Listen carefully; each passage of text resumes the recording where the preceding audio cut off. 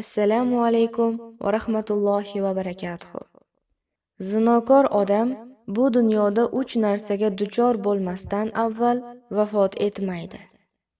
Birinchi zino qilayotgan vaqtida agar bu ishini halol deb qilayotgan bo'lsa iymonidan ajralib turadi. Va agar shu holida ajali yetib vafot qiladigan bo'lsa iymonsiz vafot qilib abadiy do'zaxiylar safidan bo'lib qoladi. Bu esa o'ta dahshatli holatdir. Nabiy sollallohu alayhi vasallam zinokor zino qilayotganida mo'min bo'lib qola olmas deb aytganlar. Muttafaqun alayh.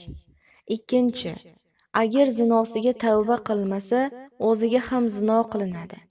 Ya'ni u birovlarni ayoli qizi singlisini yo'ldan urgani kabi o'zi ham shundayin holatga duchor bo'ladi.